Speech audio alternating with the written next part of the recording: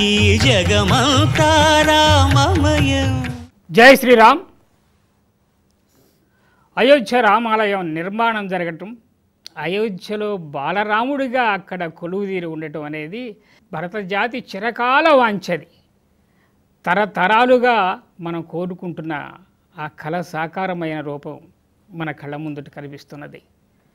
వందల ఏళ్ళ ధర్మ పోరాటం న్యాయ పోరాటం వెరసి ఒక అద్భుతమైన ఆలయం బాలరాముడి విగ్రహ ప్రతిష్ట జరగడం అనేది జాతి జాతి అంతా గర్వించదగిన విషయం.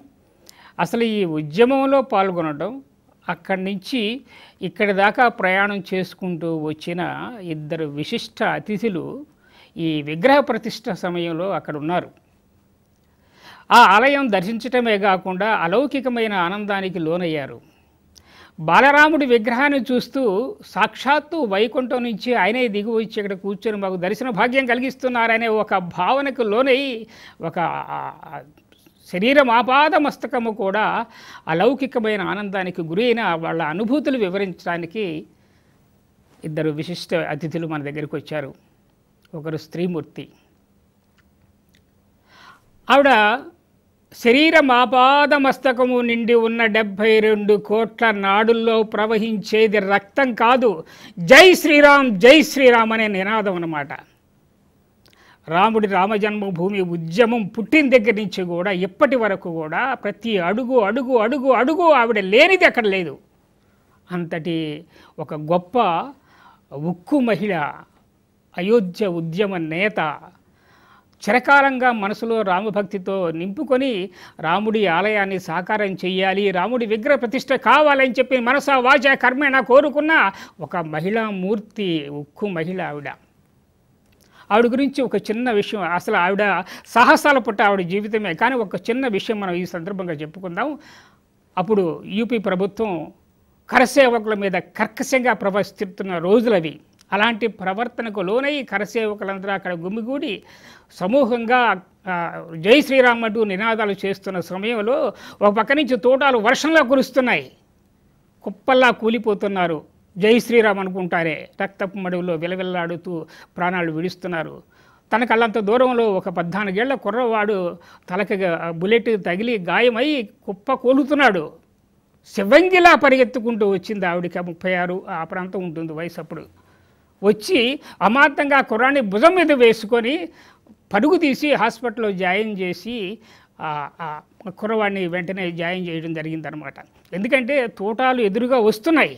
తన పక్క నుంచి దూసుకుపోతున్నాయి.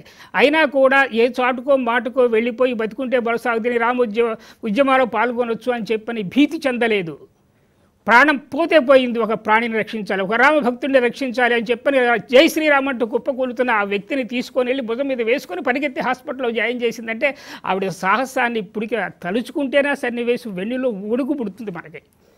అలాంటి ధీర వనిత వీర వనిత తెగింపు తెగువ ఉన్న ఆ మహాతల్లి అణువణువున రామతత్వాన్ని జీర్ణింపచేసుకొని ఆ ఉద్యమంలో తానే అయ్యి ఆ ఉద్యమానికి ఊపిరి తానే అయ్యి తానే ఆ ఉద్యమానికి ఊపిరి తను చేసుకొని ముందుకు నడయాడిన అద్భుతమైన మహిళ సత్యవాణి గారు భారతీయ సత్యవాణి గారు వచ్చారు. అమ్మ ధన్యవాదాలు. కరోనా ఎక్కువ పొగిడేశారు బాగా ఉన్నది ఉన్నట్టుగానే చెప్పాను కానీ లేనిది కాదు. ఇందుట్లో అవాస్తవాన్ని చెప్పగలిగింది ఏమీ లేదు. అన్ని వాస్తవాలే. తర్వాత మరొక విశిష్ట అతిథి బాచుపల్లిలో కనకదుర్గ అమ్మవారి ఆలయాన్ని వ్యవస్థాపకులు ఆయన చక్కటి మంచి ఆలయాన్ని నిర్మించారు. జగదంబిక త్రిశక్తి పీఠం అధిపతి పీఠాధిపతులు.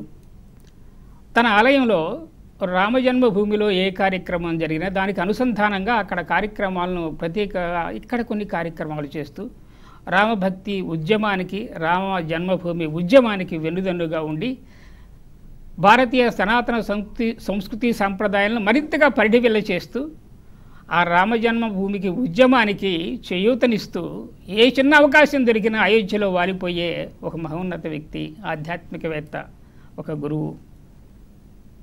బెనారస్ బాబు గురూజీ వచ్చారు. నమస్కారం. ధన్యవాదాలు. నమస్తే అండి. మీరు అయోధ్య వెళ్ళారు విగ్రహ ప్రతిష్ఠ చూశారు. అసలు ఆ- ఆ దర్శనమే ఒక అద్భుతమైన అనుభూతి. అనుభూతికి లోనైన మీ మనోభావాలను పంచుకోవాలనేదే ఈ కార్యక్రమ ప్రధాన ఉద్దేశం సత్యవాణి గారు అల్లంత దూరాన మీరు రామాలయం చూస్తున్నారు. గతంలో ఉద్యమ చరిత్ర ఆ ఆటుపోట్లు అవన్నీ కూడా మనసులో మెదులుతూ ఉన్నాయి. ఆ ఉద్యమానికి సాకార రూపం అయి మన కళ్ళ ముందు కనపడుతున్నది. అలాంటి దృశ్యాన్ని చూసినప్పుడు అల్లంత దూరాన్నే రామమందిరం చూసినప్పుడు మీలో ఎలాంటి భావన కలిగింది? గతంలో మీరు చేసిన సాహసాలు కానివ్వండి దానికి ప్రతీకగా మా అందరి త్యాగాలకు ప్రతీకగా పోయిన వారు ప్రాణత్యాగం చేసిన వారికి ప్రతీకగా నిజంగా మీరు అలాంటి సన్నివేశంలో మీరు ఇందాక చెప్పినట్టుగా ఆ అది కొనసాగుతున్నప్పుడు పైనుంచి ప్రాణత్యాగం చేసి ఊర్ధలోకాల్లో ఉన్న ఆత్మలు శభాష్ మా స్ఫూర్తిని మా త్యాగాన్ని సత్యవాణి గారు కొనసాగిస్తున్నారని చెప్పని మనస్ఫూర్తిగా వాళ్ళు శివతాండవం చేసి ఉంటారు పైన అది మాత్రం ఖచ్చితంగా చేయొచ్చు. అలాంటి మనోభావన దూరం నుంచి ఆలయాన్ని చూసినప్పుడు మీకు ఎలాంటి ఒక అనుభూతి కలిగింది? మమ్మల్ని కరెక్ట్గా పదకొండు గంటలకి అంటే ఇరవై రెండవ తేదీ పదకొండు గంటలకు మమ్మల్ని అందరినీ కూడా మా మా కేటాయించబడినటువంటి సీట్లు మమ్మల్ని ఆసీనులు అవ్వమన్నారు కదా. అప్పటికే మేము ఆసీనులు అయి ఉన్నప్పుడు అంతకుముందే నేను పద్దెనిమిదవ తేదీనే ఆలయం మొత్తం కూడా సందర్శించడం జరిగింది అణువణువున అక్కడ వాళ్ళు చేస్తున్నటువంటి ఏర్పాట్లు ముఖ్యంగా వస్తూ ఉన్నటువంటి అతిథులకు కానివ్వండి ఇంకా మిగతా విదేశాల నుంచి వచ్చేటువంటి ప్రముఖ వ్యక్తులు కానివ్వండి వీళ్ళందరికీ కావలసిన ఏర్పాట్లు ఎప్పటికప్పుడు సందేశాలు ఇస్తూ చేస్తున్నటువంటి తీరు ఆ వార్ రూమ్లో జరుగుతున్న సన్నివేశాలని చూసే చాలా అబ్బురపడ్డాను. తర్వాత ఆనాడు నేను ఉన్నటువంటి పరిస్థితి అంటే నేను చూసినటువంటి పరిస్థితి ఏది? అయోధ్య. అప్పుడున్నటువంటి మూడు గుంబజులు ఉండడం ఆ చుట్టుపక్కలంతా చెట్లు నానా భీభత్సంగా ఉండేది. రోడ్లు కూడా చాలా ఇరు- ఇరుకైనటువంటి రోడ్లు. ఎక్కడ చూసిన ఆశ్రమాలు మందిరాలు మఠాలే తప్ప మరి ఇంకొంటది ఉండేది కాదు. అలాంటి సందర్భాన్ని కూడా నేను నాలుగైదు సార్లు చూసి ఇప్పుడున్నటువంటి అయోధ్యను చూసి చాలా మార్పు చెందినటువంటి పరిస్థితుల్ని చూసి చాలా ఆశ్చర్యము సంతోషము ఆనాటి సంఘటనలు ఇప్పుడు జరుగుతున్న సంఘటనలు అన్నీ కలబోసి ఆ కష్టము ఈ సంతోషము. రెండు కలబోసినటువంటి ఒక అనుభూతి ఎప్పుడైతే ప్రధానమంత్రి గారు ఏదో ఎనభై ఎనభై ఏడు సెకండ్ల పాటు చేసినటువంటి ఆ ప్రాణ ప్రతిష్ట కార్యక్రమం ముగియగానే తెర మీదకి ఎప్పుడైతే బాలరాముడు వచ్చి మీరన్నట్టుగా ఇందాక వైకుంఠం నుంచి ఒక్కసారి అందరి ముందు ప్రత్యక్షమయ్యాడా అన్నట్టుగా ఆ అందాల బాలరాముడు ప్రత్యక్షం కాగానే ఎవరికి వారికి ఒక్కసారిగా ప్రపంచం మొత్తం తిలకించినటువంటి సన్నివేశం కదండి ఇది. ఎవరికి వారు బాలరాముడి యొక్క రూపాన్ని చూసి ఒక ఉద్విగ్నభరితమైనటువంటి ఒక భావోద్వేగంతో కూడినటువంటి ఒక అలౌకికమైనటువంటి అనుభూతికి అనిర్వచనీయమైనటువంటి భాషకు అందనటువంటి ఆనందాన్ని అందరూ అనుభవించాం. కొన్ని నిమిషాల పాటు ఆ దానిలో నుంచి తేరుకోవడం కూడా చాలా కష్టమైంది వెంకట్రావు గారు. ఎందుకంటే ఐదు వందల సంవత్సరాల నాటి ఈ యుద్ధం కొనసాగుతూ కొనసాగుతూ ఎంతోమంది చేతుల మీదుగా చేతుల మీదుగా అలా వచ్చే చివరికి మన జనవరి ఇరవై రెండు రెండు వేల ఇరవై నాలుగవ తేదీ అలా ప్రతిష్ట అవుతున్న క్షణంలో ముఖ్యంగా ఆశ్చర్యం కలిగించిన విషయం నాకు. నేను ముందుగానే అన్నాను అలాగే జరిగింది. అప్పటి వరకు అసలు యూపీలో ఎక్కడా కూడా మంచు తప్ప విపరీతమైన చలి తప్ప సూర్యుడే మాకు కనిపించలే. ఆ ఏడు రోజు మేము ఉన్నప్పుడు. కరెక్ట్గా బాలరాముడు అలా ప్రత్యక్షం కాగానే చాలా తేజస్సుతో సూర్యుడు ఉదయించాడు. రెండు గరుడ పక్షులు వచ్చి ఆలయం చుట్టూ మా అందరం కూర్చున్న చోట. గమనించుంటారు వారు కూడాను. తిరగడం ఇది ఒక అద్భుతమైనటువంటి సన్నివేశం. సాక్షాత్తు శ్రీమన్నారాయణుడు ఒక అవతారమూర్తుడు బాలచంద్రుడు అక్కడ నిజంగానే ప్రాణ ప్రతిష్ట కావింపబడి అక్కడ కొలువు తీరాడనే దానికి ఇది నిదర్శనం అనిపించింది. సంతోషం అండి అంటే ఆ సమయంలో ఏడు రోజుల పాటు మబ్బుల చాటున దాక్కున్న సూర్యుడు కోటి సూర్య సమాన తేజో విరాజితుడైన బాలరాముడు సూర్యవంశస్థుడు కదా మరి దర్శనం ఇచ్చినప్పుడు ఆ అలాంటి కోటి సూర్యుల్లో నేను ఒకటి కాబట్టి ఇప్పుడు నేను కూడా కొలుచుకోకపోతే నా జన్మ వృధా అని చెప్పి అనుకుని ఆ సూర్య భగవాను కూడా ఆ రాముని దర్శించుకోవడానికి మబ్బుల చాటు నుంచి వచ్చి ఒక అద్భుతమైన లీలది. ప్రకృతి ఆవిష్కరించిన ఒక అద్భుతాల్లో అది ఒకటి అనమాట ఇవన్నీ ఇలాంటి ఎన్నో ఆవిష్కరించబడ్డాయి అక్కడ.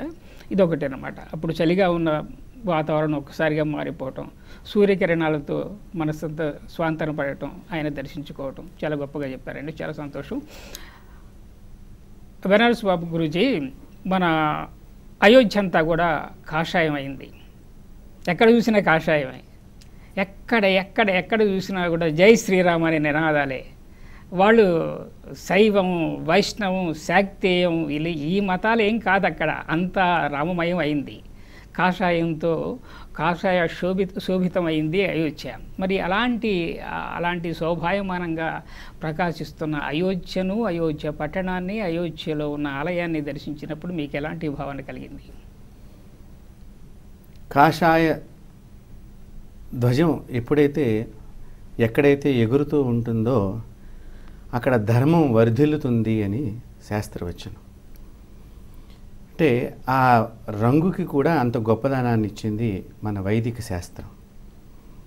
సన్యాసులందరూ కూడా అందుకనే యతీశ్వరులు వీరందరూ కూడా కాషాయ వస్త్రాన్ని ధరించడం గల కారణం ఏమిటి అంటే చాలా కష్టాలని అలాగే కా చాలా బాధలను అన్నిటినీ కూడా సమాన స్థితిలో వారు చూసేటువంటి శక్తి ఆ వస్త్రము ద్వారా వారికి సంప్రాప్తం అవుతుందా అన్నట్లుగా భావన చేసేటువంటి రోజులు గతంలో ఉండేవి. అందువలన పూర్వము కాషాయం కనిపించంగానే అందరం కూడా ఎక్కడ వాళ్ళు అక్కడ నిలబడి ఒక్కసారి ఆ వస్త్రధారణ చేసిన వారిని చూడంగానే నమస్కారం అనేటువంటిది గతంలో ఎక్కువగా మనం చూస్తూ వచ్చాం. ఇప్పుడు అది కాలక్రమంలో ఏదో మనతో పాటు నడుచుకుని వెళ్ళిపోతున్నారు అన్నట్టుగా ఉంది కానీ అయోధ్యలో మాత్రం ఎక్కడ చూసినా ఒక అయోధ్యనే కాదు మేము వారణాసి నుంచి అయోధ్యకి వెళ్ళే మార్గంలో కూడా ప్రతి చోట కూడా కాషాయ ధ్వజం అనేది ఎగురుతూనే ఉన్నది. ఈ కాషాయ వస్ సంబంధించినటువంటిది మొత్తం అయోధ్య నగరం అంతా కూడా అది చూడంగానే అలనాడు త్రేతాయుగంలో లంకపై విజయాన్ని సాధించినటువంటి శ్రీరాములు వారు సీతాదేవిని పట్టుకుని చక్కగా ఆ పుష్పక విమానంలో అయోధ్యకు చేరుకున్నప్పుడు ఆ ప్రజలందరూ కూడా ఏ మాదిరిగా అయితే ఆనందాన్ని పొంది ఉన్నారో ఆనాడు రామరాజ్యంలో ఇప్పుడు కూడా అక్కడ ఉండేటువంటి ప్రతి ఒక్కరూ కూడా ఎంతో ఆనందమైనటువంటి టెంటులో నుంచి మందిరంలోకి మన భగవంతుడు వచ్చేటువంటి శుభ సందర్భంగా పురస్కరించుకుని ప్రతి ఒక్కరూ కూడా జై శ్రీరామ్ అని చెప్పడము హనుమంతుడి ధ్వజము పట్టుకుని కాషాయ ధ్వజం పట్టుకుని తిరగటము గడప గడపకి కూడా కాషాయ అలంకరణ చేయటం అనేటువంటిది అక్కడ మనకి బాగా కనిపించింది. ఇందాక అమ్మ చెప్పినట్టుగా అక్కడ ఎంత ఎటు చూసినా కూడా ఎవరిని చూసినా కూడా ఎప్పుడు రాముణ్ణి దర్శనం చేద్దామా అనేటువంటి ఒక ఆలోచన తప్ప మనం భోజనం చేయాలి మనం ట్యాబ్లెట్ వేసుకోవాలి లేకపోతే మరి మరి ఇంకో పని చేయాలి అనేటువంటిది ఎవ్వరికీ లేదు. నిరంతరము ఆయన యొక్క దర్శనం ఎప్పుడు జరుగుతుందా అనేటువంటిది ఆ మధుర క్షణం ఎప్పుడు మనకి దర్శనం అవుతుంది ఆ మూర్తి స్వరూపము అని చెప్పి ప్రతి ఒక్కరూ కూడా అలాగా కళ్ళతో వెయ్యి కళ్ళతో వాళ్ళు ఎదురు చూస్తున్నారు అనేటువంటిది ఆ యొక్క మధురమైనటువంటి సన్నివేశం ఆ కాషాయ వాతావరణంలో మనందరికీ కూడా అనిపించింది. అంతేకాక కొంతమంది అడిగారు ఏమండి చాలా చోట్ల విగ్రహ ప్రతిష్ట అని అంటూ ఉంటారు. కానీ ఇక్కడ ప్రాణ ప్రతిష్ట సమరోత్సాహము అని అన్నారు. ఇది ఏమన్నా విశేషమా అని అడిగారు. దీనికి ఇది అంటే ఇప్పటిదాకా ఆ మాట విన్నటువంటి వారు చాలా తక్కువగా ఉండవచ్చు. మామూలుగా శాస్త్రాల్లో తెలిసినటువంటి వారికి అది ఒక విధి విధానంలో ప్రక్రియగా తెలియచ్చు. అడిగినప్పుడు వాళ్ళకి అప్పటిదాకా దాని అర్థం గురించి కూడా వాళ్ళు తెలుసుకోవాలనే ఉబలాటం ప్రతి ఒక్కరిలో ఎంత చక్కగా కనిపించిందంటే ప్రాణప్రతిష్ఠ అంటే ప్రతి శిలకి కూడా ప్రాణం ఉంటుంది. ఆ ప్రాణం ఉన్న శిలలనే వీరు శిలాశాస్త్రం చదువుకున్నటువంటి వారు ఏది ఉత్తమ శిల అనేటువంటి దాన్ని పరిశీలన చేసి దాన్ని తీసుకొచ్చి దానిలో రకరకాలైనటువంటి శక్తులన్నింటినీ కూడా గత పదహారు రోజుల నుంచి దానికి జరిగేటువంటి ప్రక్రియ వైదిక ధర్మశాస్త్ర ప్రక్రియ ద్వారా ఆ శిలకు మరింత శోభాయమానమైనటువంటి ప్రకృతి శక్తులన్నింటినీ కూడా పంచభూత శక్తిని అంతటినీ కూడా ఆ మూర్తి స్వరూపానికి ప్రసాదింప చేయటం మంత్రపూర్వకంగా ఎంత గొప్ప విశేషమో చూడండి. అంటే ఆ యొక్క ప్రాణశక్తిని వారు మంత్రపూర్వకంగా అక్కడ చేయటము అక్కడ చుట్టూ కూడా యాగశాల చుట్టూ కూడా కాషాయ ధ్వజాలు అలాగే భక్తులందరూ కూడా చుట్టుపక్కల ఉండి వెళ్ళేవారు కూడా ప్రతి ఒక్కరూ కూడా కాషాయ వస్త్రధారణ చేయటము విచిత్రంగా. ఏదో ఒకటి ఒంటి మీద ఆ కాషాయపు రంగు ఉండాలి అనేటువంటి భావనను వారిలోకి తీసుకొచ్చింది అంటే గతంలో అయోధ్య రామ మందిరం రావాలి అని చెప్పి ప్రాణత్యాగం చేసిన వారి యొక్క పూర్తి ఫలం అక్కడ ఆ రోజున అగుపించింది. ఇది యథార్థమైనటువంటి విషయం. ఖచ్చితంగానండి. వాళ్ళందరూ కూడా దృశ్యాదృశ్య రూపంతో అక్కడికి వచ్చి ఉంటారు. దృశ్య రూపంతో అంటే వాళ్ళు మానవ శరీరం దార్చగలిగినటువంటి శక్తి వాళ్ళలో ఉంటే ఏదో రూపంగా వచ్చి దర్శించుకుంటారు. ఏదో రూపంగా కాదు ఆ రాముదండే వచ్చిందా ఆ విషయం పక్కన పెడదాం దాని గురించి మాట్లాడుకుందాం.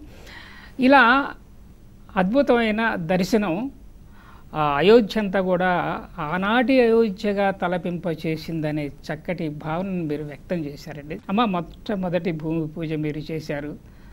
ఈ మీ రూపు కూడా అందులో వేశారు. అసలు అవన్నీ తలుచుకొచ్చిన రాముడు చూస్తుంటే ఆ రాముడి మిమ్మల్ని ప్రశ్నిస్తున్నట్టుగా ఉందా? అమ్మ నువ్వు చేసింది వృధా పోలేదు కదా తల్లి. నువ్వు దర్శించుకుంటున్నావు కదా. ఎలా దర్శించుకుంటున్నావు? నీ భావన ఏంటి అని చెప్పరే ఒక విషయాన్ని. నిజంగానే అది. నీ నిజంగానే మనం భగవంతుడిని ఆరాధించేటప్పుడు మనలో కనుక ఆర్ద్రత ఆర్తి ఉంటే ఎంత బాగా పలుకుతాడో రిసీవ్ చేసుకుంటాడో అనేది అనేక నిదర్శనాలు కనిపించాయి నాకు కూడా అక్కడ. ఏమండి? నేను అక్కడ కూర్చుని ఉంటే ఆ శిల్పి ఎవరైతే ఉన్నారో మన కర్ణాటక యోగి అరుణ్ యోగి గారు. నేను కూర్చున్న చోటుకు వచ్చి నమస్కారం అమ్మ నన్ను కలిసి వెళ్ళారు వచ్చి. ఆ తర్వాత బిల్డింగ్ డిజైన్ వేసిన ఆయన కూడా వచ్చిన అమ్మ నమస్కారం. నాకు ఎవరు పరిచయం లేదు కలిసి వెళ్ళారు. ఆ తర్వాత కొంచెం సేపు అయిన తర్వాత మన అన్నదాన సుబ్రహ్మణ్య శాస్త్రి గారు అమ్మ సత్యవాణి గారు మీరేనా అంటూ ఇట్లా చూసి నన్ను నమస్కారం పరిచితులు. ఆశ్చర్యం వేసింది నాకు. రాముడిని చెక్కిన శిల్పి తయారు చేసిన శిల్పి ఆలయానికి కట్టిన స్ట్రక్చరల్ డిజైన్ ఇచ్చిన ఆయన యంత్రానికి ఇన్ని కోట్ల జపం చేసి తొమ్మిది సంవత్సరాలు చేసిన ఇవి ముగ్గురు రా- రాగా నాకేమనిపించిందో నా రాముడే నా దగ్గరకు వచ్చి పలకరించినట్టు అనిపించలా? మూడు ఇంపార్టెంటే కదండి ముగ్గురే. ఆ ముగ్గురు వల్లే కదా అక్కడ ఆలయం నిలబడింది. వాళ్ళ రూపకల్పనతో చేసిందే కదా అది. కీలకమైన పాత్ర వహించారు వాళ్ళు. ము- కీలకమైన పాత్ర. మూడు మూడు. అరే అప్పుడు అనిపించిందండి అప్పుడు ఇంకా అసలు నాకు దుఃఖం ఆనందం ఇంకా అసలు ఆగల. ఎంత ప్రేమ ఎంత ప్రేమ నా రామచంద్రుడికి. అంటే ఏమిటి? ఆనాడు మనం ఆర్తిగా ఉన్నది ఎంతో నిస్వార్థంగా కుటుంబాన్ని కూడా వదిలేసి ఇంటికి తిరిగి వస్తానో లేదో అని కూడా చెప్పేసి వెళ్ళిపోయినటువంటి నేను అలా జీవించటం అనేటటువంటిది రాముడికి రికార్డులోకి ఎక్కాను. మీరు మామూలుగా అది కదా శక్తి రథంగా కనిపించుంటారు వాళ్ళందరూ. అదే అదే. అది- అప్పుడు అనిపించింది నాకు ఓహో మనం ఎంత దీనిలో ఉంటే భగవంతుడు మన ఎంత రిసీవ్ చేసుకుంటారు అనేదానికి ఇది నాకు నిదర్శనంగా కనిపించిందండి. చాలా సంతోషం. ఎందుకంటే ప్రారంభంలోనే ఒక శక్తి రథంగా కదిలారు. వ్యక్తిగా కాదు ఒక రథంగా కదిలారు. పదే అది కాకుండా పద్దెనిమిదో తారీఖునే ముందుగానే వెళ్ళడం చేత అక్కడ అన్ని అడుగడుగున అన్ని చూసుకోవటం ఆలయంలోకి ముందే చూడటం ఆ తలుపులన్నీ తయారు చేసినటువంటి మా శరత్ బాబు గారు ఎవరైతే ఉన్నారో అనురాధ టింబర్ ఆయన దగ్గర ఉండి నాకు లోపలికి తీసుకెళ్ళి అన్నీ చూపించటం యాగశాలలోకి వెళ్ళటం బాలరాముడిని పల్లకీలో పెట్టి ఊరేగింపుతో యాగశాలలో ఉండటం అక్కడ కంచి పరమాచార్య వారి యొక్క ప్రతినిధులుగా అక్కడ మన కంచి నుంచి వచ్చిన పండితులు ముఖ్యంగా నేను అక్కడ దర్శించుకోగలను. ఇదంతా నాకు అది అద్భుతమైనటువంటి ఒక పూర్వజన్మ సుకృతంగా భావించాను వెంకట్రావు గారు. సంతోషం అండి. ఇలాంటి భావనే దరిదాపుగా. అంటే ఒక్కొక్క రకంగా అయోధ్యతో మనకున్న అనుబంధాన్ని ఆయన ముఖంలో చూస్తున్నప్పుడు ఆయనే మనకు గుర్తు చేస్తున్నాడా అనే భావన నువ్వు నా కోసం ఎంతగా శ్రమించావు? ఈ ఉద్యమంలో నువ్వు ఎంతగా పాల్గొన్నావు? ఇవన్నీ కూడా ఒక్కొక్కటి ఆ రామ దర్శనం అప్పుడు ఒక అద్భుతమైన గతానుభవాలు. ఇవన్నీ కూడా ఒక అలా లీలగా కళ్ళ ముందు కదులుతూ ఉంటాయి కాబట్టి. తప్పకుండా అండి. మీకు అలాంటి భావనలు ఏం కలిగి ఎందుకంటే అది ప్రతి అణువణువునా కూడా ఆ భావన మనల్ని గుర్తు చేస్తూ ఉన్న సందర్భం ప్రతిరోజు ఉన్నది. భారతీయుల్లో అప్పట్లో ఆ యొక్క ఉద్యమానికి సంబంధించిన నాయకులు అందరూ కూడా మేము ధర్మాచారుల విభాగంగా ఉన్నాం కాబట్టి మాకు అందరికీ కూడా ఓ ధర్మాచారులు అందరినీ కూడా ఒక చోట పెట్టడం చేత మేమందరం కలిసినప్పుడు తన్మయత్వంలో ఆ రోజున జరిగిన సంఘటనలు. అక్కడికి వెళ్ళినటువంటి వారు కొత్తగా పెళ్ళైపోయి వెళ్ళిపోయారు అక్కడ ఆ ఉద్యమానికి. ఇక్కడ వాళ్ళేమో అయ్యో మా వారు వెళ్ళిపోయారు నాకు పెళ్ళైపోయింది నన్ను వదిలివేశారా అనేటువంటిది లోపల ఇక్కడ మాకు గుబులుగా ఉండేది. వాళ్ళేమో అక్కడికి వెళ్ళారు. అక్కడ పెద్ద యుద్ధంలాగా వాతావరణం ఉన్నది. అసలు ఉన్నారా వీళ్ళు వస్తారా? రారా? ఇదంతా కూడా లోపల ఆ రోజున పడ్డ వేదనంతా కూడా మేము ఆ రోజున పంతొమ్మిదో తారీఖు మేము అక్కడ ఉండటం ధర్మాచారులు అందరం కలిసి అక్కడ మాట్లాడుకునే విషయాలన్నీ కూడా ఇవన్నీ పాత గుర్తులు. ఇప్పుడు మీరు అన్నారు చూసారా? కొత్తగా పెళ్ళైన వాళ్ళు కూడా వెళ్ళిపోయారని. నిజం. ఇది మంచి మాట చెప్పారు మీరు. అప్పుడు రామానంద సాగర్ సీరియల్ వస్తూ ఉండేదండి. అయోధ్య రామజన్మభూమి ఉద్యమం జరుగుతున్న రోజుల్లోనే అదృష్టవశాత్తు మనకు అదే సమయంలో రామానంద సాగర్ ఈ సీరియల్ రావడం చేత అప్పుడు చాలామంది రామాయణం మీద ప్రభావితం అయ్యారు చాలా మటుకు. ఒక అమ్మాయి అయితే పెళ్ళి కూతురు వెతుక్కుంటున్నారు ఎక్కడ ఇంకా పెళ్ళి కూతురు రావట్లేదని చూస్తే పక్కింట్లోకి పోయి రామాయణం చూస్తుంది. పట్టుకొని పీటల మీద కూర్చోబెట్టారు. అప్పుడేమిటి ఆ రామాయణం సీరియల్ చూడటం వల్ల రాముడి యొక్క కథ ఆయన త్యాగము సీతమ్మ తల్లి యొక్క పవిత్రత అవన్నీ కూడా మన మనసులో నిండిపోయి నింపుకున్న రోజులు కాబట్టి వారన్నట్టుగా కొత్తగా పెళ్ళైన వాళ్ళు కూడా వదిలేసి వెళ్ళిపోయారండి. అవన్నీ కూడా మేము ఆ సందర్భంలో గుర్తు చనిపోయిందంతా పద్దెనిమిది పంతొమ్మిది సంవత్సరాల పిల్లలు ఇరవై సంవత్సరాల పిల్లలు. ఆనందం వేసిందంటే ఆ క్షణాన్ని మనం అంటే వాళ్ళందరూ కూడా పరిపూర్ణమైనటువంటి ప్రేమతో మనందరం మళ్ళీ ఇక్కడ జత కావాలని పిలిచారేమో. మళ్ళీ వాళ్ళందరి గురించి ఎందుకంటే భగవంతుడి గురించి ఏ ఒక్కరైనా సరే ప్రాణ సమర్పణ చేశారు అంటే అది పూర్తిగా వారి భగవంతుడి యొక్క పాద పద్మాముల దగ్గరికి మాత్రమే వెళ్ళగలుగుతారు. అలాంటి ఉద్యమాలు నడిచినాయి అప్పట్లో. అమ్మ చెప్పినట్లుగా వారు అప్పట్లో తూటా తగిలిన పిల్లవాడిని భుజాన్ని వేసుకుని ఒక శివంగిలాగా మీరు కూడా అన్నారు. అక్కడ శివంగి భవంగి రుద్రాంగి ఎన్ని రకాలైనటువంటి అవతారాలు ఎత్తాల ఎవరె ఎవరెవరు ఎత్తాలనుకున్నారో వాళ్ళందరికీ కూడా ఆ హనుమంతుడు వాళ్ళందరిలో కూడా దూరిపోయి రుద్రాంశ సంభూతుడేమో ఆయన వీళ్ళల్లో ఆ శక్తిని తీసుకొచ్చి ఆ రాముడు గురించి మీరు కూడా నేను అప్పట్లో లంక మీద ఎట్లాగైతే దండయాత్రకు వెళ్ళానో ఇప్పుడు కూడా మీరు అదే మాదిరిగా మన బాలరాముడి యొక్క మందిరానికి మీరందరూ కూడా యుద్ధం చేయాల్సినటువంటి వాతావరణాన్ని ప్రతి ఒక్కరికి కూడా యుద్ధం అంటే మన మీద కత్తులు డాల్స్ అవి పట్టుకోలేదండి. మన మానసికంగా పడుతున్న వేదనని వారికి చెప్పటానికి గట్టిగా మన మాటల ద్వారా పదజాలము ద్వారా మనం చెప్పామే తప్ప ఇక్కడ అంతా కూడా సాత్వికంగానే జరిగింది. వారు మన మీద రకరకాల దండయాత్రలుగా మనల్ని ప్రాణాలను తీసేసి పనులు చేయటం సరైనదిలో ఎన్ని శవాలు కుప్పలండి ఇసుక బస్తాల్లాగా పడేసి అవి తలుచుకుని మేము ఆ రోజున ఎంత ఏడ్చామో అవి చూస్తుంటేనే ఆ గుట్టలు ఎవరిది? ఎవరికి అప్పచెప్పాలి ఇది? ఏ మాత బి- బిడ్డ గురించి వేచి చూస్తోంది? ఏ ఇంట్లో ఇల్లాలు ఈ యొక్క పతిదేవుడు ఎప్పుడు వస్తాడని చూస్తోంది? ఆ పతిదేవుడిది కాదా? మనం ఎవరిది ఇవ్వాలి? అని ఎంతలాగా వేదన రోదన. ఇందాక రామానంద సాగర్ రామాయణం గురించి సత్యవాణి గారు చెప్పారు. అప్పట్లో ప్రతి ఇంట్లో కూడా ఆ సమయం వచ్చారు టీవీ లేని వారు పక్కింట్లోకి వెళ్ళి ఆ సౌండ్ వస్తోందనగానే ఎక్కడ పనులు అక్కడ వంట కూడా ఆపేసుకుని అందరూ కూడా ముగ్ధ మనోహరంగా రామాయణాన్ని చూడాలని చాలా దగ్గరగా అదే సమయంలో బయట మనకి ఒక వాతావరణం వన్? ఫార్టీ ఫోర్ సెక్షన్ పెట్టారా అన్నట్టుగా. నరసంచారి ఉండేవారు కాదు అప్పుడు. బయటమో బాగా ప్రచారం. ఇక్కడ కొంతమంది వ్యక్తుల ద్వారా మహమ్మదీయులు కూడా శ్రద్ధగా చూశారు. చాలా బాగా జరిగినటువంటి సంఘటనలు అవన్నీ కూడా మేము తలుచుకోవటం. నిజంగా ఆ రోజున ప్రాణప్రతిష్ఠ మహోత్సవం రోజున ఎంత పుణ్యమైనటువంటి పవిత్రమైనటువంటి పుష్యమాసము ఉత్తరాయణ పుణ్యకాలం ద్వాదశి తిథి మృగశిర నక్షత్రంలో. విచిత్రం ఏంటంటే పునర్వసు రాముల వారిది. ఆ నక్షత్రానికి మృగశిర చాలా విశేషమైనటువంటి బలమైనటువంటి నక్షత్రం. అందులో అది కుజ సంబంధమైన నక్షత్రం. అందులో ఇప్పుడు మనకి రాబోయే సంవత్సరం కూడా చూసినట్లయితే కుజుడే అధిపతి అవుతున్నాడు.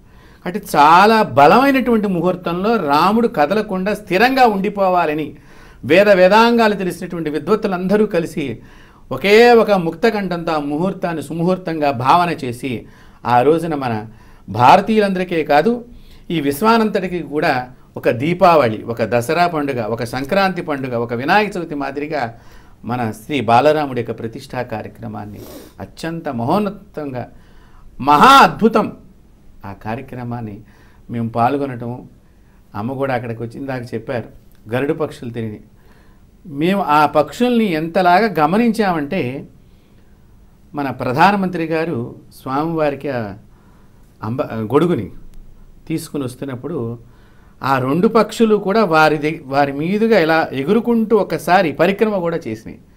అంటే విష్ణువుకి గరుడు కూడా వాహనం. ఆ వాహనం అక్కడ ఉండటం అనేటువంటిది చాలా సర్వశ్రేష్టము అని చెప్పి మనకి శాస్త్రాలు చెబుతున్నాయి. అంత మహిమాన్వితమైనటువంటి ముహూర్తం కింద గరుడు దాన్ని ధృవీకరించడం అనేది మనందరికీ కూడా తెలిసిన విషయం. సంతోషం అండి అప్పుడు ఉద్యమంలో ఉరుకులు పెట్టిన వాళ్ళు సాహసాలు చేసిన వాళ్ళందరిలో కూడా రుద్రవీర్య సంభూతుడైన శ్రీ ఆంజనేయ స్వామి వారే ఆవాహన చేసి ఆయనే నడిపించుకున్నారు వీరందరినీ అనే విషయం చాలా చక్కగా చెప్పారు. ఒక్కటండి ఇక్కడ నాకు వెంకట్రావు గారు. మీరు అన్నారే ఈ మొత్తం క్రతువుకి ఇంత ఇదిగా ఒక ఆంజనేయ స్వామికి అవతార పురుషుడిగా అభినవ ఆంజనేయుడిగా చెప్పుకోదగిన ఒక మహనీయుడిని మాత్రం మనం స్మరించుకోవాలి. ఆయన అశోక్ సింఘాల్. అవును. నేను అదే ఆయన లేకపోతే అసలు ఉద్యమమే లేదు. అదే అదే. అందుకనేనండి మా ధర్మాచార్యుల విభాగానికి కూడా అమ్మ ప్రతి రూమ్ దగ్గర అశోక్ సింగార్ గారి బొమ్మ పెట్టారు. పెట్టాలి. పెట్టారు. పెట్టారా? పెట్టి మాకు రూమ్ నెంబర్ రాసిన స్లిప్ మీద వారి బొమ్మ వారి రూమ్ నెంబరు. సంతోషం అండి అంటే అలా గుర్తు పెట్టుకున్నారు అదే అదే. పిలిచినటువంటి వారు కూడానండి చాలా ఎవరైతే చిన్న అనేటువంటి ఇది లేకుండా ఎప్పుడో ఒక క్రీడాకారిణి పిటి ఉష గారి గురించి మీరు వినే ఉంటారు. కానీ ఆవిడ్ని కూడా గుర్తు పెట్టుకుని ఈ కార్యక్రమానికి పిలిచారు చూడండి. అదే అదే. అంటే ప్రతి వారిని కూడా ప్రతి రంగంలో వారిని కూడా పిలిచారు ఇక్కడ. ప్రాణ ప్రతిష్టకి ప్రతి అన్ని రంగాల వారిని పిలుస్తూ విశేషంగా ఏంటంటే ఉత్తరాన నవగ్రహాల్లో గురుడు ఉంటాడు. మా ధర్మాచారులందరినీ కూడా ఉత్తరం వైపునే కూర్చోబెట్టారు ఎక్కువగా. శాస్త్రంగా పెట్టారేమో అనిపించింది మాకు కూడా. గురువులందరూ దక్షిణం తిరిగి దక్షిణామూర్తి స్వరూపకంగా వీళ్ళందరినీ అలా కూర్చోబెట్టాలనుకున్నారు. మా వెనకాతలే యాగశాల. ఈశాన్య భాగంలో మొత్తం మందిరానికి ఈశాన్య భాగంలో యాగశాల. చాలా సంప్రదాయబద్ధంగా జరిగింది.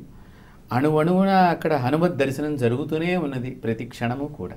సంతోషం అండి సత్యవాణి గారు బాలరాముడి ముఖంలో చూస్తున్నప్పుడు మీరు నవయుగ ద్రౌపదిగా ఆనాడు జుట్టుముడి వెయ్యను రామాలయ నిర్మాణం జరగాలి బా రాముడి ప్రతిష్ట జరగాలి అని చెప్పని అశోక్ సింఘాల్ విజయరాజ సింధియా పుల్లారెడ్డి వీరందరితో భుజం భుజం కలిసి నడయాడి త్యాగాలు సాహసాలు చేసిన సన్నివేశాలు ఆయన ముఖంలో ప్రతిఫలించినట్లుగా మీరు గమనించారా? అలాంటి అనుభూతులు గత జ్ఞాపకాలు మీకు ఏమైనా మదిలో మెదిలయ్యా ఆలయంలో? అంటే అంటే నాకు ఎలా అనిపించిందంటే అదే ఇప్పుడు ఈ ఈ భావోద్వేగం కానివ్వండి ఈ ఉత్తేజం ఉల్లాసం ఆనందం ఇవన్నీ కలబోసినటువంటి స్థితి. ఆనాటి ఆ దుర్ఘటనలు ఆ సంఘటనలు ఆ బలిదానాలు ప్లస్ ఆనాటి యొక్క బలిదానాలకు ఈ రకమైన సత్ఫలితాన్ని ఇవ్వడం ఇవన్నీ కూడా ఒక కలబోసినటువంటి ఒక ఆనందం అండి. ఆ ఆనందంలో ఆయన కనపడించుకొని ముఖ్యంగా ఆయన క- కళ్ళు చూసారా మీరు? శ్రీ వెంకటేశ్వరుడికి కనులేమో కొంచెం ఇట్లా సోగ కళ్ళుగా ఇట్లా కొంచెం మూసివేయబడి ఉంటాయి. మరింతగా మనం మూసుకో మూసేసాం కూడా లేండి. ఎందుకంటే ఇది కూడా చెప్తా. మేము చేసే పాపాలు ఏమైనా చూడమాకయ్యాను అందుకని గురువారం నాడు ఒళ్ళు దగ్గర పెట్టుకుని ఉంటారట నిజ చూపులు ఇప్పుడు రాముడు అలా లేడండి. రాముడు ఇదిగో నన్ను నిలబెట్టారు కదా. మీరు పిలిచారు నేను వచ్చి నేనేం కట్టమనలేదు కదా మిమ్మల్ని. మీరు పిలిచారు ఆప్యాయంగా వచ్చాను. ఇప్పుడు ఏం చేస్తారు మీరు నన్ను? అన్ని ప్రశ్నించినట్టుగా అనిపించింది నాకు. విన్నారా? ఆ కళ్ళల్లో భావన. ఏ రకంగా చూసుకున్నా మీరు సరే మీరందరూ ఎంతో ఆర్తిగా పిలిచారు. నా కోసం ప్రాణత్యాగాలు చేశారు. ఐదు వందల సంవత్సరాలు యుద్ధం చేశారు. నా జన్మభూమిలో మళ్ళీ నన్ను తిరిగి నిలబెట్టారు. మీ కోరిక మేరకు నేను వచ్చాను. ఇప్పుడు నన్ను ఏం చేయమంటారు? ఏ ఏ కోరికలు మీ తీర్చమంటారు నన్ను? అని అడుగుతున్నట్టుగా అనిపించింది నాకు. అయాచితంగానే వరాలు ఇచ్చే ఆ స్వామి. ఆ. కళ్ళల్లో అలాంటి భావన వ్యక్తీకరించే భావన మీరు కనిపించారంటే అది కరెక్ట్గా వాస్తవమే అవును. నువ్వు అడగాల్సిన అవసరం లేదురా నీ మనసులో ఉన్న కోరిక నాకు తెలుసు అది నేను తీరుస్తాను ఇక వచ్చాను కదా నేను చెప్పని ఒక ఆ భావన వ్యక్తం చేసిన ఆ- ఆ భావన తాలూకు దృశ్యాన్ని మీరు గమనించారు. చాలా సంతోషం. సరే. ఒకటండి వెంకట్రావు గారు. నేను ఒక్కటి చెప్పదలుచుకున్నాను ఈ సందర్భంగా. ఇప్పుడు రాముడిని ప్రతిష్ట చేసుకున్నాం. దేనికి ప్రతిష్ట చేసుకున్నాం మనం? ఆనాడు ఉద్యమంలో ఉన్నటువంటి లక్ష్యం అంటే మనకి ఈ అనుభూతులు అనుభవాలు ఇవన్నీ చెప్పుకున్నాం అనేకం చెప్పుకుంటున్నాం. మనం ఎవరి అనుభూతులు? వాళ్ళకి పోలడని మిగిలి ఉన్నాయి అయితే ఇవాళ మనం ఆలోచించాల్సింది ఏమిటంటే మొత్తం ప్రపంచాన్నే పరిపాలించి పదకొండు వేల సంవత్సరాలు పరిపాలించినటువంటి రామచంద్రుడు ఇవాళ మన హృదయ స్థానంలో భారతదేశంలో హృదయ స్థానంలో ఒక ప్రపంచానికి ఒక ఆధ్యాత్మిక క్షేత్రంగా ఉండాలి అనేటటువంటి దీంట్లో మనం పెట్టుకున్నాం. ఇప్పుడు దానికి తగినటువంటి ప్రయత్నాలు కూడా జరుగుతున్నాయి. అన్ని చోట్ల రామాయణంలో ఉన్నటువంటి గాథలన్నీ కూడా చక్కగా మంచి మంచి దృశ్యమానంగా అక్కడ పెట్టడం సరయుని రోజు చక్క హారతులు ఇవ్వడం అనేక అనేక కళారూపాలని కళాకారులందరూ ప్రదర్శించడం ద్వారా మానసిక ఉత్తేజాన్ని కలిగించడం మన చరిత్రను మన భావితరాలకు తెలియచేయాలని అనుకోవటం ఇదంతా అద్భుతమైనటువంటి ప్లాన్. అందుకని ఇప్పుడు చాలామందికి డౌట్ రావచ్చు. అందుకని ఆ డౌట్ క్లారిఫై చేయడానికి మీకు చెప్తున్నాను నేను. అవునండి కట్టారు కదా చాలామంది హేతువాదులు అడుగుతారు. రకరకాల మంది ప్రశ్న అవునండి రామాలయం కట్టుకున్నారు ఇప్పుడు ఏం చేస్తారు? ఏంటి దీంతో ఏంటి వచ్చే ప్రయోజనం ఏంటి అని అనుకుంటారు. అవును. ఇది ఎందుకనంటే అసలు మనకు ఆలయ సాంప్రదాయం అనేది సమాజ సంక్షేమ కేంద్రంగా ఆలయాన్ని ప్రజలకి ఏ విధమైన స్ఫూర్తిని అందించాలి? ఒక స్ఫూర్తి కేంద్రంగా శ్రద్ధా కేంద్రంగా మన ఋషులు మనకు అందించినటువంటి గొప్ప సాంప్రదాయం. అయితే దీని నుండి అందుకోవలసినటువంటి వాటిని ఎలా ప్రజలకు అందించాలో దానికి ఒక నిర్ణయం అయ్యింది. ఈ ప్రణాళికలో అది భాగమే. ఏమిటయ్యా అంటే ఇది చెప్పనా మీకు పాయింట్స్ ఏమిటో? చెప్పండి. నెంబర్ వన్ సమరసత. అందరిలోనూ ఒక సామరస్యాన్ని తీసుకురావడం. ఎందుకంటే ఈ మధ్యకాలంలో రాజకీయ నాయకుల వల్ల కులాల మధ్య చిచ్చు ప్రాంతాల మధ్య చిచ్చు భాషా భేదాలు ప్రాంత భేదాలు కుల భేదాలు మత భేదాలు. ఇవన్నీ కూడా విపరీతమైనటువంటి ధోరణులు వచ్చేసి నేటి యువతరానిని కూడా ఒక అయోమయ పరిస్థితిలో పడేశాయి పడేస్తున్నాయి కూడా. అలా కాకుండా ఒక రకమైన సామరస్య భావాన్ని ప్రజలలో ఉద్దీపింప చేయటం అనేది ఫస్ట్ పాయింట్. రెండవది కుటుంబ బోధన. ఇవాళ కుటుంబాలు కూడా విడిపోతున్నాయి. కుటుంబంలో కూడా తల్లిదండ్రులు పిల్లలు ఎవరికి వారిగా ఉండిపోతున్నారు ఎవరి సెల్ ఫోన్లో వాళ్ళు చాటింగ్లు చేసుకోవడమే తప్ప అందరూ కూర్చొని మాట్లాడుకునే వాతావరణం ఇవాళ కుటుంబంలో లేదు. మన పిల్లలకి మనం కూర్చోబెట్టి అసలు మన అస్తిత్వం ఏమిటి మన వారసత్వం ఏమిటి మన డిఎన్ఏ ఏమిటి మనం ఎందుకు పుట్టాం ఈ భారతదేశం ఔన్నత్యం ఏమిటి మన ఋషులు మనకి ఏమందించారు ఇవన్నీ కూడా కుటుంబంలో చర్చించుకునే అవకాశం. ఇక నుంచి ఆ కుటుంబాల చర్చ జరగాలి. ఇది కుటుంబ బోధన. మూడవది పర్యావరణం. పర్యావరణం అంటే ఏమని ప్రకృతి. ప్రకృతి అంటే ఎవరు? సీతమ్మ తల్లి. ప్రకృతిలో ఉన్న రహస్యాలు ప్రకృతిలో ఉన్నటువంటి మహిమాన్విత విషయాలు సీతమ్మకు తెలిసినంత ఎవరికీ తెలియదు ఆమె భూమి భూమి నుండి ఉద్భవించింది. కాబట్టి శ్రీరామచంద్రుడు కూడా నడిపించింది జానకి అమ్మవారే. ప్రకృతిలో వచ్చే వైపరీత్యాలను ముందుగానే గమనించి దానికి తగినట్టుగా ఎలా చేసుకోవాలో తెలిసినటువంటిది రాముడి కంటే సీతమ్మకే ఎక్కువ తెలుసు. ఏమండి? మీ- మీరు మగవాళ్ళు మా- మరి మన ఆడవాళ్ళు బయటికి రారీగా అందుకని. సరదాగా అనుకుందాం. అమ్మ చెప్పింది వాస్తవం వాల్మీకి రామాయణంలో కూడా రాములారు కూర్చుని ప్రకృతి వంక చూసినప్పుడు ఏమిటి? ఇట్లా ఉన్నది ఏంటి? దాకా బాగానే ఉందంటే వెంటనే సీతాదేవి దాని గురించి ఆలోచన చేసి ఫలానా చోట ఏదో జరగబోతున్నది అని చెప్పిన మాటలు వాల్మీకి రామాయణంలో ఉన్నాయి. ఉన్నాయి. ఎన్నో అనేకం ఉన్నాయి. అలా ముందు పర్యావరణం. మన పర్యావరణానికి ఎంత విఘాతం కలిగిస్తున్నామండి ఇవాళ? మన యొక్క భోగలాలస కోసం మన యొక్క ఆధునికత పేరిట మన డాంబికాల కోసం మన ప్రకృతిని ఎంత విచ్ఛిన్నం చేస్తున్నామండి? కాబట్టి పర్యావరణం పట్ల అందరిలో కూడా ప్రకృతి పట్ల అందరిలో అవగాహన కల్పిస్తేనే అక్కడ సీతమ్మ కూడా అనుగ్రహిస్తుంది. పర్యావరణం పట్ల. నాలుగవది ఏమిటంటే మన స్వభావాన్ని జాగృతం చేసుకోవడం అంటే ఏమిటి? నేనెవరిని? నేను మనిషిని కదా. ఇదేది నేను పట్టుకెళ్ళను కదా. ఈ భూమి మీదే చిరస్థాయిగా నేను ఉండను కదా. కాబట్టి ఈ భూమిని నేను కాపాడుకోవాల్సిన అవసరం ఉన్నదనేటువంటి భావనని తన మానవ స్వభావాన్ని జాగృతం చేసుకుని మానవత్వాన్ని మేలుకొల్పుకోవటం అనేది నాలుగో పాయింట్. ఐదవ పాయింట్ సివిక్ ఒబీడియన్స్ అంటే ప్రకృతికి ఒక చట్టం ఉంది. ఆ ప్రకృతి చట్టం ప్రకారం ప్రకృతికి అనుగుణంగా మానవుడు నడుచుకుంటే ధర్మానికి అనుగుణంగా మనం ఆరోగ్యంగా ఉండగలుగుతాం. అట్లాగే ప్రభుత్వం కూడా కొన్ని చట్టాలను మనకు తీసుకొస్తుంది. ఆ ప్రభుత్వ చట్టాలను కూడా గౌరవిస్తూ ఆ చట్టాలను ఉల్లంఘించకుండా ఉండడం ఎట్లాగనేటటువంటి ఇప్పుడు చూడండి విదేశాలలో ఎంత బాగా ఇంప్లిమెంట్ చేస్తారండి చట్టాన్ని? చట్టం అంటే ఎంత భయం అండి వాళ్ళకి అక్కడ ఏ నిమిషాన ఉద్యోగం పోతుంది ఒళ్ళు దగ్గర పెట్టుకుని పనిచేస్తారు టైం పంక్చువాలిటీ కమిట్మెంట్ అక్కడ ఉన్నది మన దగ్గర ఎందుకు లేదు? కాబట్టి చట్టాలను కూడా ఉల్లంఘించడం ఎట్లాగా భారతీయులకి తెలిసినంతగా మరి ఇంకెవరికి తెలియదండి. సో దానిని కూడా సరిచేసుకో. ఈ ఐదు పాయింట్ల మీద మన దృష్టి పెట్టి ఇవాళ మందిర నిర్మాణం చేసుకున్నందుకు ఆ మందిరాన్ని స్ఫూర్తి కేంద్రంగా తీసుకుని అక్కడ నుంచి ధార్మిక ప్రసారం అవుతూ ఉండగా ధర్మ ప్రసారం అవుతూ ఉండగా మనల్ని మనం మేలు కొలుపుకుని మానవుడు మానవుడిగా ఉండడం ఎట్లా? ఉన్న స్థితి నుండి ఉండవలసిన స్థితికి ఉన్నత స్థితికి వెళ్ళడం ఎట్లా అనే దాని మీద పాలకులు శ్రద్ధ పెట్టాలి. రాముడు పరిపాలనలో ఎటువంటి భరతుడు వచ్చినప్పుడు అడుగుతాడు కదా ప్రజలకు అధిక పన్నులు వేసి బాధ పెట్టడం లేదు కదా? చారిచర్య బాగా చేస్తున్నావా? రహస్య మంత్రాలోచన బహిర్గతం కాకుండా చూసుకుంటున్నావా అంటాడు. ఇవాళ అక్కడ జరుగుతున్న మీటింగ్ వెంటనే వచ్చేస్తుంది మీడియాలో. చెప్తున్నా. కాబట్టి ఇవన్నీ అడుగుతాడు. కాబట్టి వీటన్నింటిని ఇంప్లిమెంట్ చేసుకోవడంలో పాలకులైనటువంటి వాళ్ళు కూడా పార్లమెంట్లోను కానీ అసెంబ్లీలో కానీ మాట్లాడే చర్చలు కానీ ఇవన్నీ కూడా చూసే ప్రజలందరికీ కూడా ఒక విజ్ఞానదాయకంగా ఉండాలి తప్ప అది ఆదర్శప్రదాయంగా ఆదర్శప్రాయంగా ఉండాలి తప్ప అయ్యో వీళ్ళని చూసి మేమేమి నేర్చుకోవటం అనేటటువంటి పరిస్థితి కాకుండా ఈ మార్పులు రావడం కోసం అక్కడ మందిరాన్ని ఆయన అక్కడ పెట్టుకున్నాం. ఆయన నేతృత్వంలో మనం ఉన్నాం. ఆయన అధ్యక్షతన మనం ఉన్నాం. అనేటటువంటి స్పృహను కలిగించడం కోసం ఈ ఆలయం కట్టుకున్న అది నెక్స్ట్ ఇంప్లిమెంట్ చేయాల్సినటువంటి కర్తవ్యం. పాలకుల మీద ప్రజల మీద ఉందనే సత్యాన్ని గమనించినప్పుడే రాముడి యొక్క అనుగ్రహం మనకు లభిస్తుంది తప్ప మళ్ళీ రాముడు అంత అందమైన కళ్ళని కన్నెర్రజేయకుండా మనల్ని మనం కాపాడుకోవాల్సి ఈ ఇలాంటి సమా సమస్త సమాజం కుల మత వర్గ వర్ణ విచక్షణ లేకుండా దరిదాపు అన్ని సమాజాల వాళ్ళు అందరూ వచ్చారు. ఒక మతం కాదు ఒకటి ఇది కాదు.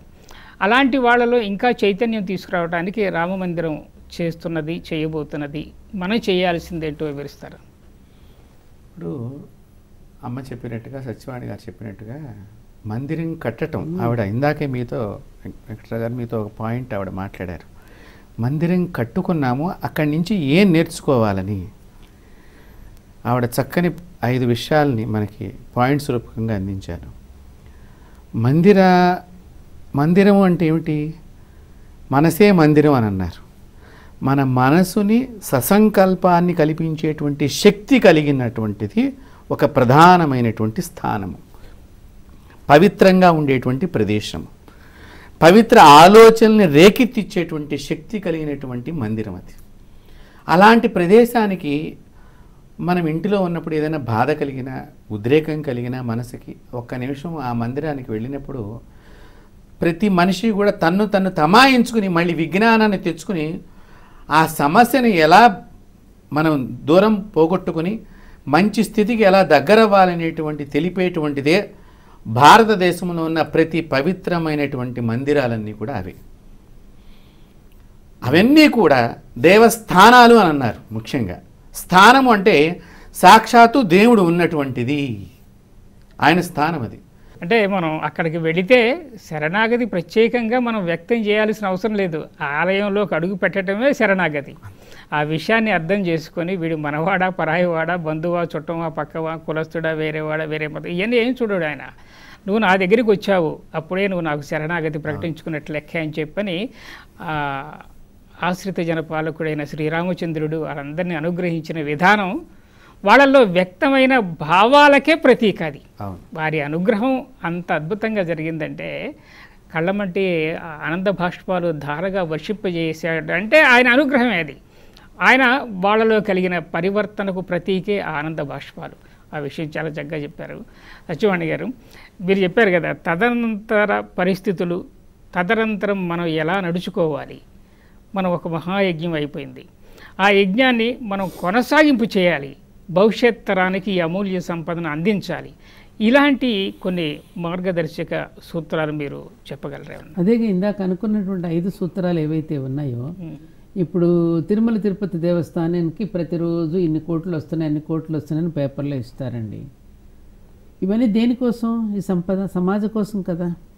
ఈ సమాజంలో ఉండేటటువంటి రుగ్మతలను రూపుమాపడానికి భగవంతుడిని ఆధారంగా చేసుకుని మనం కార్యక్రమాలు చేస్తూ ఉంటాం. అట్లాగే రేపు అయోధ్యలో రామజన్మభూమిలో వచ్చేటటువంటి ఈ భక్తులు సమర్పించేటటువంటి కానుకలన్నీ కూడా ఇప్పుడు యోగి ఆదిత్యనాథ్ గారు ముఖ్యమంత్రిగా ఉన్నారు క్షేత్రంలో ట్రస్టీస్ ఉన్నారు మంచి మంచి గొప్ప గొప్ప వ్యక్తులంతా ఉన్నారు. ఆ దిశగానే ఆలోచిస్తున్నారనే నేను అనుకుంటున్నాను. ఎందుకంటే ఆ భావనతోనే ఉన్నారు వాళ్ళు. ఈ ధనాన్నన్నింటినీ ఆ విధమైనటువంటి ధర్మాన్ని ప్రసారం చేయటానికి వ్యక్తులలో ఒక క్రమశిక్షణను ముఖ్యంగా మన భారతీయులకి సివిక్ సెన్స్ చాలా తక్కువ పరిశుభ్రతను పాటించడం చాలా తక్కువ. ఒక రకమైనటువంటి ఒక పద్ధతిలో వెళ్ళమంటే ఆ పద్ధతిలో వెళ్ళకుండా నొక్కి మన మమ్మల్ని అలాగే చేసేసారు తోసేసేసుకుని పడితే అట్లా వెళ్ళిపోవటం ఇవన్నీ కూడా విదేశీయులు మన చూస్తే మనల్ని అసహించుకునేటట్టు మనం ఉండకూడదు. వాళ్ళు ఎంత చక్కగా పరి పాటిస్తారు క్యూ పద్ధతిలో అట్లా మనం కూడా ఆ రకమైన సివిక్ సెన్స్ని మనం పెంపొందించుకుంటూ తగినటువంటి కార్యక్రమాలను చేసుకుంటూ ముఖ్యంగా విద్యా విధానంలోనే ప్రతివాడికి పసి పిల్లవాడికి నర్సరీ క్లాసు నుంచే భగవంతుడితో పరిచయం పెంచడం అనేటువంటి కార్యక్రమాన్ని పెట్టాలి. భగవంతుడు అంటే ఎవరో? Supreme power. ఒక అతీతమైన శక్తి మనల్ని నడిపిస్తోంది. ఆ శక్తి అనేటటువంటి దానికి మనం నమస్కరిస్తూ కృతజ్ఞతలు చెప్పుకుంటున్నాం కదా. ఆ భావనను ఇప్పటి నుంచే మన భారతీయమైనటువంటి ఆధ్యాత్మికతను పెంపొందించుకోవాలి. ఎందుకని? ఇప్పుడు మెకాలే అనేటువంటి వాడు వచ్చి మన సంస్కృతాన్ని తీసి పారేసి తాళాలు వేసేసి వాళ్ళు ఇంగ్లీష్ని పరిచయం చేసి మన నర నరాలను ఇంగ్లీష్ ఏంటో గొప్పదనేటువంటి ఒక భావాన్ని బాగా జీర్ణింపచేస్తే మనం వాటన్నింటినీ మన కళలని మన సంస్కృతాన్ని మన పద్యాలని మన భాషని అన్నింటినీ కూడా చిన్న చూపు చూసుకుని పక్కన బారేసాం.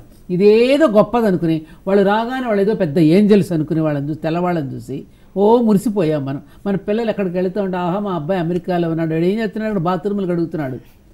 కమోడ్లు కడుగుతున్నాడు. రంగులు వేస్తున్నాడు. రోడ్లు ఉడుస్తున్నాడు దాన్ని ఏదో గొప్పగా ఫీల్ అయిపోయి మనం అమెరికా ఉన్నాడని చెప్పుకుంటున్నాం. ఇకనైనా మేలుకోండిరా. ఈ దేశం కన్నా గొప్పది ఇంకేం లేదు.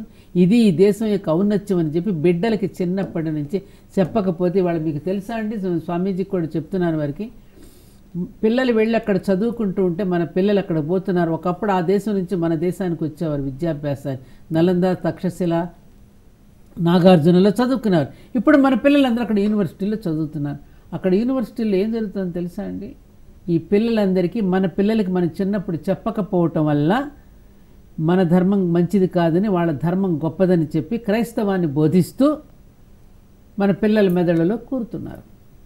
అందుకని ఈ సాంప్రదాయాలు వద్దనుకుని ఆ సాంప్రదాయం చాలా బాగుంది ఆ సాంప్రదాయాల వైపు వెళ్ళిపోయి కట్టు బొట్టు జుట్టు దుస్తులు అన్నీ వదిలేసేసి వాళ్ళ ప్రకారమే పోతున్నారు.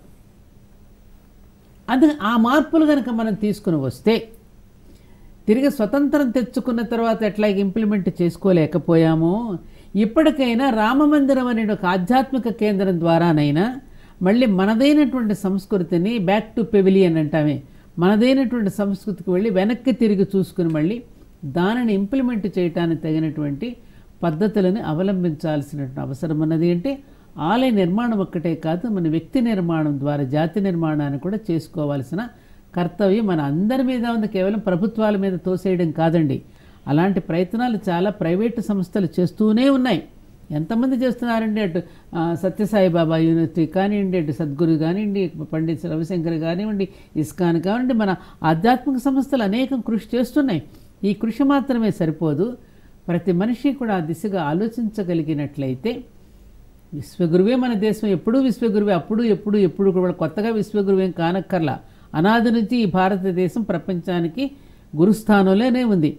అటువంటి గురువుకి కూడా అటువంటి భారతమాతకి కూడా మళ్ళీ ఇంకా గాయాలు తగలనివ్వకుండా జాగ్రత్తగా ఆ తల్లిని కాపాడుకుందాం అనేది నా నా నాకున్నటువంటి భావన మీ ద్వారా నా జాతికి కూడా తెలియచేస్తూ నమస్కరిస్తుంది సంతోషం అండి మనకెప్పుడు కూడా అనాది కాలం నుంచి కూడా ఈనాటి వరకు కూడా ద్రవ్య దారిద్ర్యం లేదు భావ దారిద్ర్యం బాగా ఉన్నది.